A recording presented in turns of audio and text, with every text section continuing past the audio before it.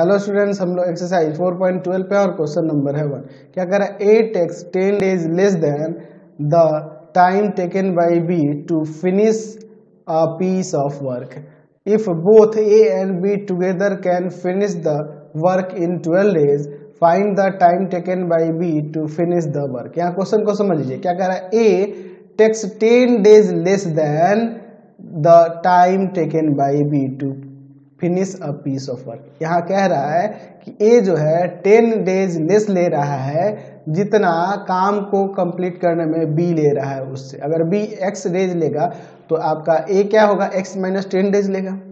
बात को समझे ना यहाँ पे? अगर ये दोनों एक साथ मिलकर काम को करते हैं तो ये ट्वेल्व डेज़ में कंप्लीट हो जाता है। तो अकेला बी बी जो है, इस वर्क को कितना दिन में कंप्लीट कर देगा, कितना दिन में फिनिश कर देगा, यही हमें निकालना है।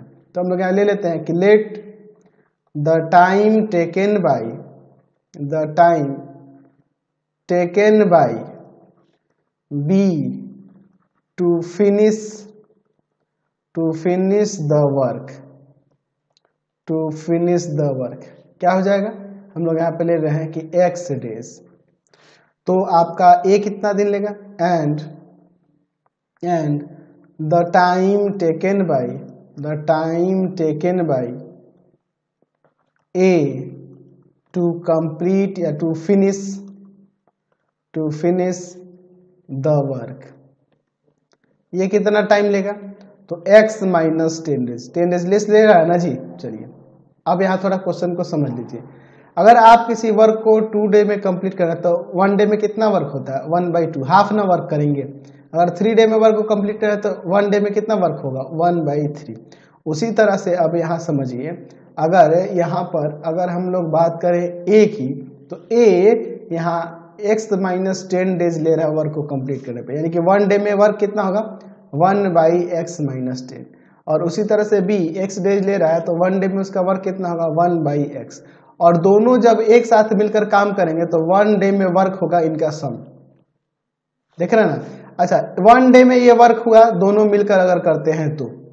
और टोटल टाइम लग रहा है ट्वेल्व डेज़ तो वन डे में वर्क कितना होगा? वन बाई ट्वेल्व ये इक्वल हो जाएगा ना इसके? ये बोथ मिलकर कर रहे हैं, ये भी बोथ मिलकर कर रहे हैं वन डे में वर्क ठीक है?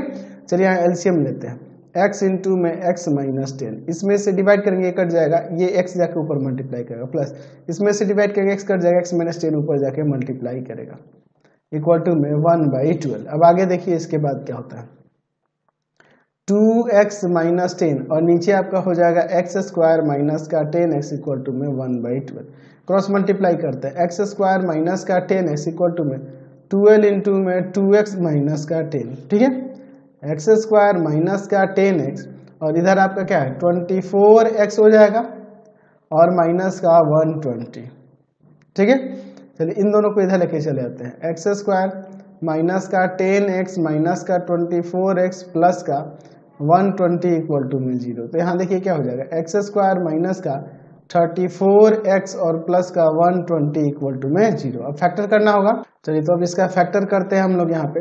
एक्स स्क्वायर माइनस का थर्टी एक्स माइनस का फोर एक्स प्लस का वन ट्वेंटी इक्वल टू में ज़ीरो एक्स कॉमन करेंगे तो एक्स माइनस थर्टी और यहाँ माइनस फोर कॉमन करेंगे तो एक्स माइनस का थर्टी दोनों ब्रैकेट में सेम है। एक्स माइनस थर्टी कॉमन कर लेते हैं। तो यहाँ पे x बच जाएगा, यहाँ माइनस फोर इक्वल टू में ज़ीरो अलग अलग कर दो, x minus thirty equal to में ज़ीरो और यहाँ पे x minus four equal to में ज़ीरो तो x का वैल्यू यहाँ से थर्टी हो जाएगा और यहाँ x का वैल्यू फोर हो जाएगा. तो अगर आप x का वैल्यू फोर लेंगे तो time taken by a to complete the work वो निगेटिव हो जाएगा. If x equal to four then then then time taken by time taken by A to complete to complete the work the work या फिर finish the work will becomes will becomes negative negative आ जाएगा ना क्योंकि x minus ten था तो four minus ten करेगा तो negative नहीं आ जाएगा जी बिल्कुल निगेटिव आ जाएगा है ना जी तो इसीलिए हम लोग एक्स का वैल्यू थर्टी लेंगे। तो देयर फोर हम लोग यहाँ पे लिख सकते हैं आपकी hence hence time taken by time taken by B to complete the work या to finish the work to finish the work finish the work finish the work equal to में क्या हो जाएगा? थर्टी डेज़ हो जाएगा। Thirty days हो जाएगा। समझ गए? नेक्स्ट क्वेश्चन देखते